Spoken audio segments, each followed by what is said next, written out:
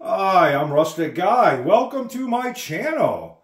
Please go ahead and subscribe if you would like to uh, join me as I make an attempt at uh, living life again.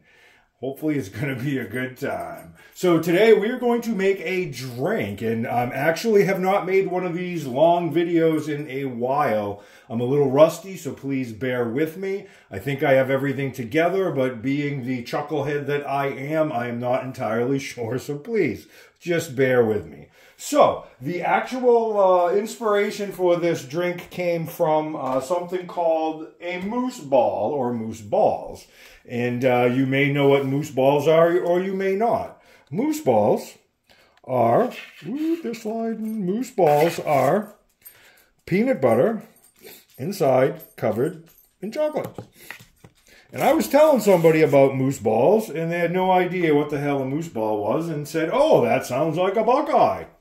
My, after using several words that rhymed with buck and buckeye, I commented, but I'll refrain. So I just said I had never heard of a buckeye, but I've heard of moose balls. So we just had a little discussion uh, regarding that, and it um, it made me want to make a drink. And this is going to be an over the top drink. It's going to be hopefully an excellent dessert drink, and I am making my dessert drink before I eat dinner because boom, I can do that. I'm rustick guy. I can do that now. Couldn't do that before, but now I can. So. What I think I'm going to do is I'm going to start out by doing the garnish, and this is going to be part of the garnish. So what I thought I would do is I'm going to split a moose ball in half. So we're going to have a half a ball. I also got some peanut butter fudge, and I got a Lindt ball. So what I think I'm going to do is something like this. I'll even uh, do it on camera. Look at this. So I'm going to take a Lindt ball, 60, what is it, 60%, 60% chocolate, I guess. So this is going to be in the middle, and on Lindt balls, there's a nice guide, because I believe that's, oh, see if I can do this without ruining it. Oh, damn it. Ah, nice. Didn't quite come out in the center, but I'm hoping there we go. I want to put this right in the middle. Ah, well, that's what happens. I lost part of the Lindt ball. That's okay. So, even though this is a big toothpick, it may, may be a little bit small. So I'm going to cut a couple of reasonably small pieces. Ooh, you know what? This is, may not work. My fudge may not stay together. So I'm going to try to just carefully, oh, God damn it. Well, that's not going to work. So if it's thicker, got to be gentle. Okay. So I want to try to keep it semi-proportionate. So it seems the thicker pieces do better.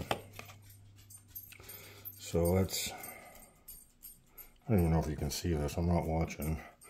So I'm to gently, I'm to try to be careful with this here on out because the fudge is brittle. I've had it a couple of weeks, so we're to cut the moose ball in half, and I'm assuming you can see that, right? Can you see that? Oh, listen to me, I'm talking to myself. Okay, so there's the moose ball. Peanut butter with chocolate. I'm going to do that. And I'm going to do that. It's not a time. So I'm hoping that's going to all stay together. Whether it does or not, I don't know. So we're going to take that there. I'm going to take another plate. This is really, I believe, the best way to do this. Whether or not it is, I don't know. I have some dark chocolate sauce, and I'm just gonna just kind of spew a bunch there. Make a little pile. I'm gonna take my martini glass now because the freezer that I have currently uh, access to does not allow me to stand my glasses up. I'm not actually freezing my glass, but Mm, you know, ideally this would be a frozen glass. So basically, I'm just gonna take And this is not cooperating, of course, and just kind of spin. Now, I like to really rim it. I really like to rim it. So I like to kind of really go a little bit crazy with the chocolate. So, and then I also want it on the actual rim. And I'm trying to go quick here. And I should really be taking my time. And I'm just a little nervous because I haven't done this in a while. I'm going to do a short version of this too. This is the long version. This is where I'm going to, you know, give amounts and really tell you how to make this. Because it, I believe it'll be a really good drink. So that's our rimmed, chocolate rimmed glass. This is, I may be slightly off center for some of this.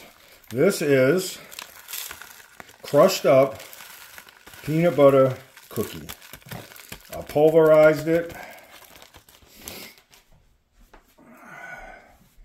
See if I can keep it out of the chocolate. Can you see that? And we're going to do the same thing. We're going to just take this glass and I'm just going to go boop a doop a doop a doop a doop a doop a doop a doo. This is so much fun. It's really not, but um, it can be fun. You can do different things. You know, I also have um, uh, double chocolate chocolate chip cookies. There's coconut cookie. You can do all kinds of stuff with this, but because we're doing a peanut butter chocolate kind of thing, I'm just kind of sticking to the two basic flavors of chocolate and peanut butter. Um, with one notable exception at the end. I do like whipped cream too, and we're going to put some whipped cream on this drink. So again, ideally I would be taking my time, and I'm not, because I'm just trying to do this quick. I'm trying to do it under 10 minutes. Like I said, there'll be a shorty version too, whether it's to music or me flapping my big old pie hole, I'm not sure yet. Okay. So, that is the glass. So we're going to take that and put it aside for now. And again, I would put it in the freezer if my freezer allowed me to do that. So we're going to take our shaker, shaker, shaker, shaker, shaker, baker, shaker, and we are going to add some ice. I know, there we go. Now, whatever. Some people don't like a lot of ice. Some people do. I'm on the lot of ice camp. I like ice. I like my drinks cold. I like my beer cold. I'm supposed to be cold. So I do use a lot of ice and I don't always hurry when I shake it because we're putting five liquors in here or five different alcohols and it's okay, in my opinion, for it to be slightly watered down from the ice. Some people don't like that. I do. This is where you can do it however you want. So what we're going to do is we're going to take about an ounce and a half and I'm going to do a four count of Screwball peanut butter whiskey, and you can use any whiskey, peanut butter whiskey you want. I just happen to be using Screwball.